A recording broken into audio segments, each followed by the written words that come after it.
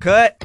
You ever want to yell at someone like a big shot Hollywood producer, but you don't have the funds to do so?